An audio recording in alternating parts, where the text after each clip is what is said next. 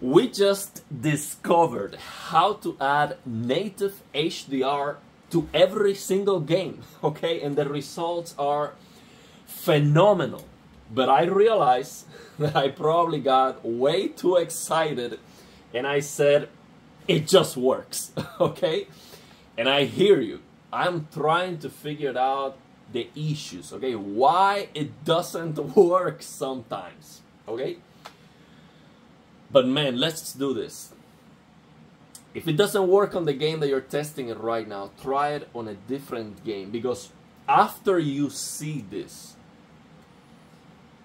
this look at this, look at this thing. This game doesn't support HDR, and it's just flawless. Just look at the graph. Okay, my camera cannot capture what I see in front of me. Okay, if I show you this, for example, this corner on the recording looks crushed. Okay, this looks darker than what I see in front of me. This looks a little bit blown out. Okay, my camera cannot capture this. But if you see this in person, look at the graph, man. This is just perfection. Okay, we're talking about the best HDR you've ever seen. And this is native HDR because what this reshade add-on is doing is forcing the HDR from the engine. Okay? So this is Unreal Engine 4, for example. And let's say if the developers were to implement native HDR, this is what they're gonna do. Okay, so this is native HDR. Of course, if the developers are working on native HDR, they are probably going to, well, probably not. They could, they could add some details, okay, more information, you give you more highlight details and other things, which is very rare. It's, it's rare to see that, but it could be better, of course, that if the developers work on it, but they don't. Okay, of course, this is an indie game. There's nothing to. I like this game a lot, actually. Um, so there's nothing to, you know, hammer on with this. But we see big AAA titles without HDR support. So for now, let's enjoy it. Let's try to find a game where this works and enjoy it. I am trying to figure out what is the problem. Okay, how can we understand how this works, wh- why it doesn't work sometimes. Yes, I am testing some of the games that you mentioned because I have them. I install some of them that don't work, and I'm trying to figure out why and see if there's a solution, if there's a way. So we will figure this out, okay? For now, Unreal Engine games that do not support HDR, this is just absolutely flawless, man. just you have to test it here. It, it, how many of those do we have? I mean, I would say that's probably the majority of the games, on Unreal Engine games. And this is just look at this thing, man. This is the best HDR you've ever seen. Look at the graph here. This is just a beauty. so here's the thing. One one detail from the last video. I said you uh, I recommend 2.4 okay content trc so what we are doing here if, if this is the first video you you see i'm gonna have link in the description to the announcement of this where i explain uh, but basically what we're doing here is adding this add-on that is called MajorPainTheCactus so you download this add-on you load it here uh, with reshade and then you have to use this Lilium's inverse tone mapping, which is something you have to download. So you have to download Reshade, you have to download MajorPainTheCactus HDR add-on, and you have to download Lilium's shaders, okay?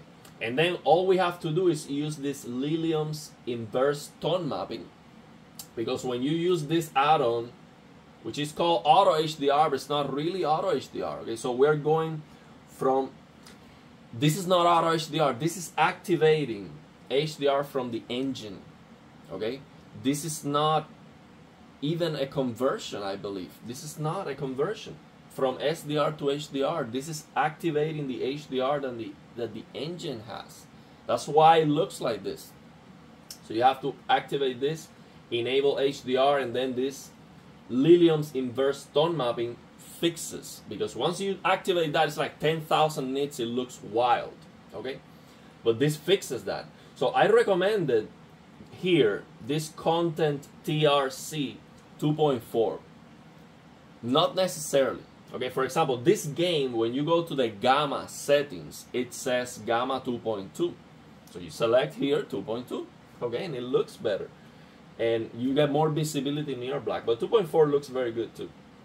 So yeah, and select this BT2446 method A and the target brightness of your display. So in my case, I'm using an LG C1 800 nits for HGIG. That's it. That's all you have to do. It's just absolutely incredible. So now, let me try to maybe address some of the comments that I heard from that video. Again, I have to come back, I have to work today. I have to go do my teaching day. And when I come back, I'm gonna work on it, see if I can figure it out. The games that don't work, the games that I saw that you reported, try to figure it out why. And of course, we will figure this out, okay? I will do a follow-up video and and try to see how to get this working. But if you have a game that supports native HDR, we know how to fix that. Okay, don't fight trying to get this. Just fix the native HDR using tone mapping, using the HDR black floor fix shader. Okay, so for now, get this working on the games that don't support native HDR. Okay, the games that you pr- probably playing with auto HDR, this looks better. This looks so much better. It's just absolutely amazing. So for now, let's try to find the games where this works. Okay, and when it works, it's just amazing. And we'll figure it out. I'm gonna try to figure out why it's not working on the on some of the games that you mentioned. Now let me try to address um, some of the things that I heard here oh, the Lilium is not working. You have to come here. You have to type in see it under CSP override. You have to type in CSP HDR10. Okay, you have to do that. Otherwise, it tells you error. Okay, so for example, right now you see here Lilium's HDR black floor fix error. So if I come here if I activate this, I come here, Lilium's HDR black floor fix, and it says currently allowed override CSP HDR10. So we have to come here and say, okay, this is CSP HDR10 underscore CSP underscore HDR10. Boom. You see? It no longer tells you error.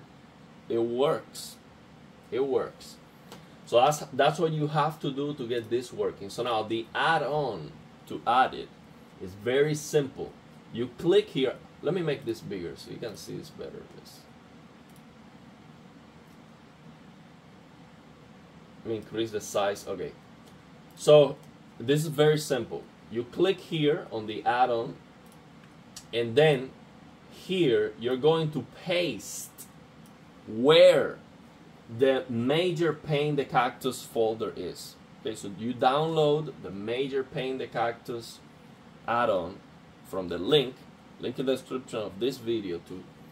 And then that folder, so when you open the Windows Explorer, just copy the path. You know, C users whatever download, whatever, wherever you have that add-on, just copy and paste it here, and you just hit select.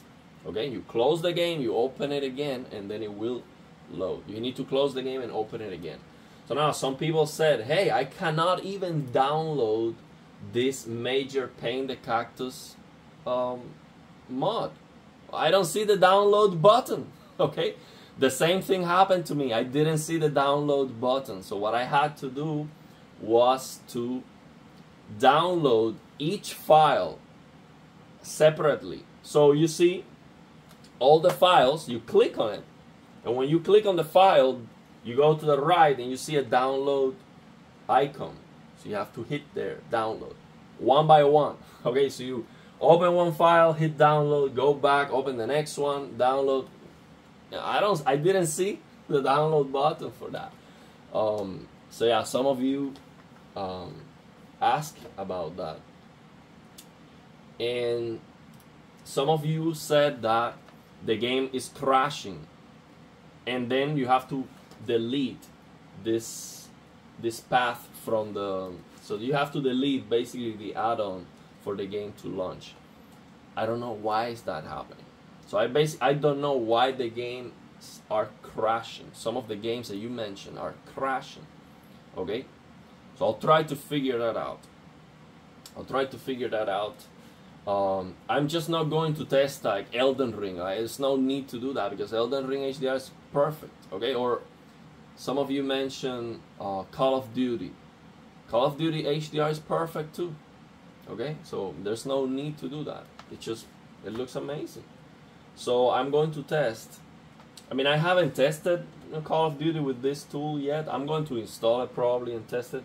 But you cannot use add-on on multiplayer games. Okay, you get banned. So this is not allowed for multiplayer games. It's only for single player games. Um, but yeah, Call of Duty is great. So I'm going to test this on games that are messed up, okay? Games that really need this. Focus on that first, okay? And then we'll try to figure it out for everything else. I did get this working on Immortal Fenyx Rising, which is a game that I have installed right now.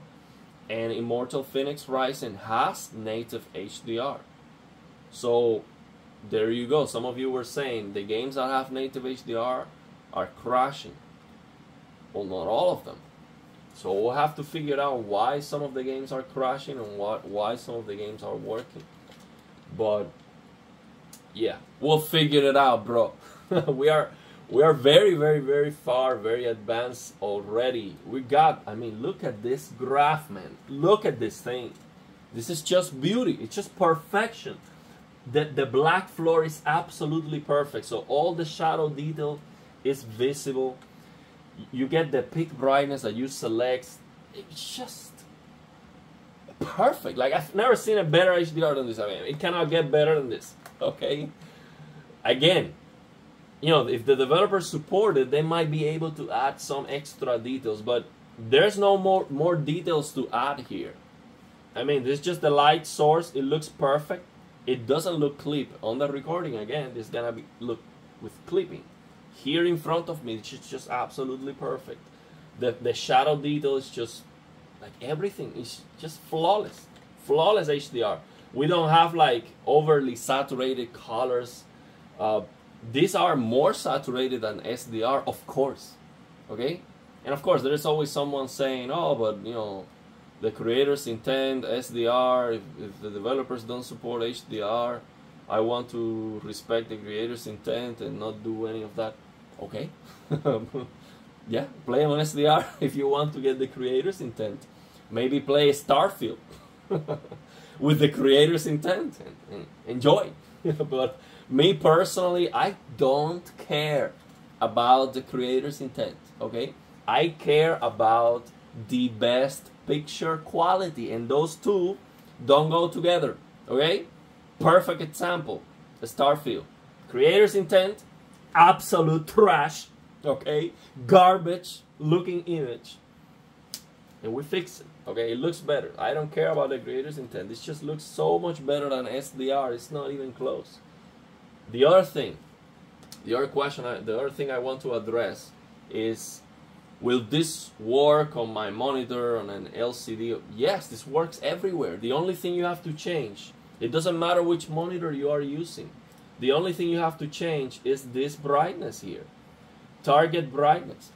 Some of you ask me, how do I know, you know, what is the target brightness for my display? I will make a separate video about that. It's basically, you have to use some test patterns to understand where is the clipping point of your display.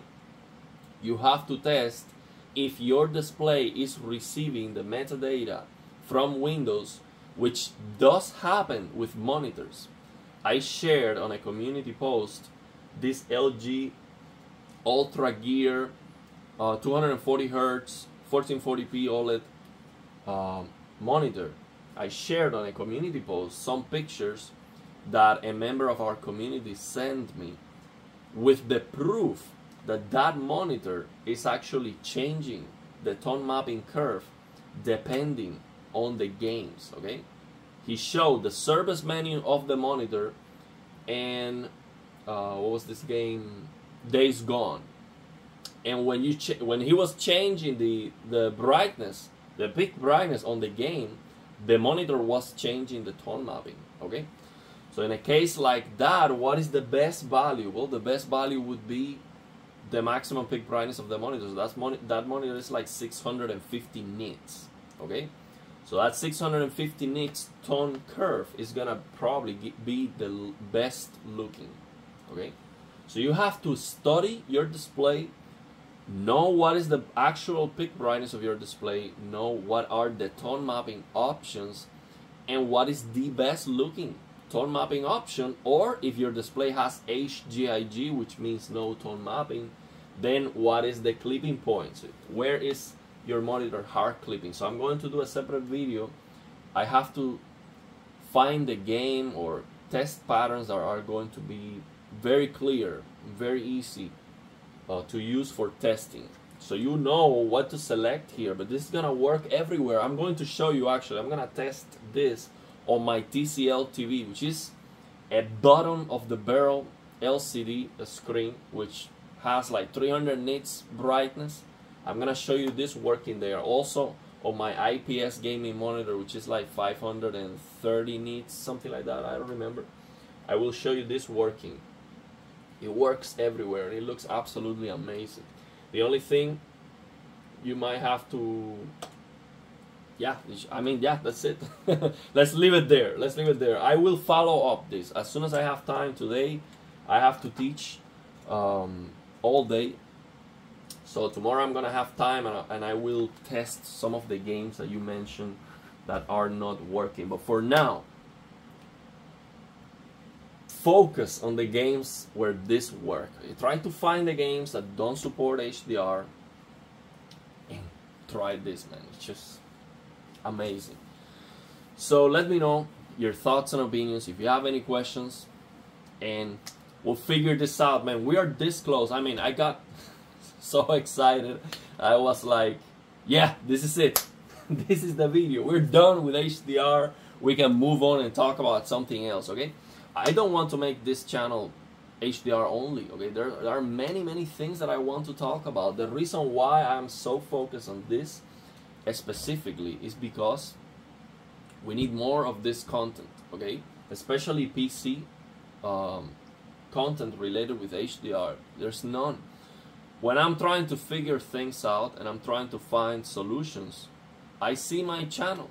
So when I go on Google and type in, you know, my questions, the things that I need to learn, I only see myself talking about that, okay?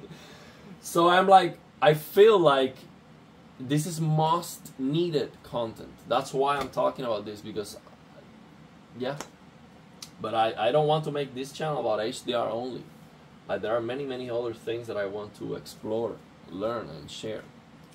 Um, so yeah, let me know your thoughts and opinions and if you have any questions.